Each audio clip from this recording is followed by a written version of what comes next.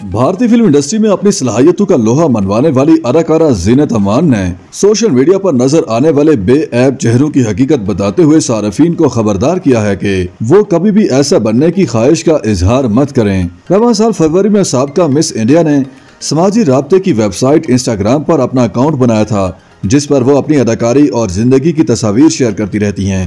तहम हाल ही में अदाकारा और मॉडल ने अपने इंस्टाग्राम की पोस्ट में इंकशाफ किया है कि किस तरह मशहूर शख्सियात इंस्टाग्राम के लिए बेऐब तस्वीरें हासिल करती हैं? एशिया पैसिफिक इंटरनेशनल का मुकाबला जीतने वाली अदाकारा ने अपने इंस्टाग्राम पर फोटोग्राफों, बालों और मेकअप आर्टिस्टों की टीम से घिरी हुई एक ब्लैक एंड व्हाइट तस्वीर शेयर करते हुए लिखा, आप जिन लोगों को टेलीविज़न इंस्टाग्राम और मैगजीन में देखते हैं, आपको उन लोगों की तरह दिखने की बिल्कुल भी ज़रूरत नहीं।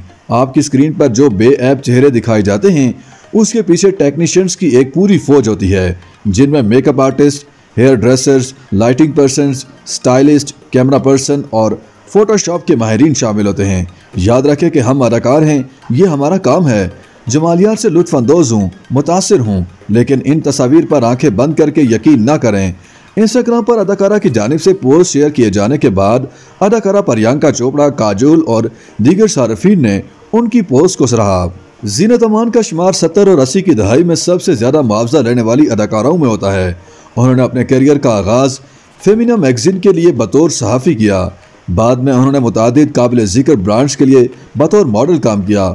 19 साल की उम्र में उन्होंने मुकाबला हुसन में हिस्सा लिया। 1970 में फेमिना मिस इंडिया का मुकाबला और एशिया पैसिफिक इंटरनेशनल मुकाबला दोनों जीते। Zeenat Aman Miss Asia Pacific का टाइटल जीतने वाली पहली हिंदुस्तानी और पहली जनूबी एशियाई खातून हैं। उन्होंने अदाकारी में अपने करियर का आगाज़ 1970 में किया।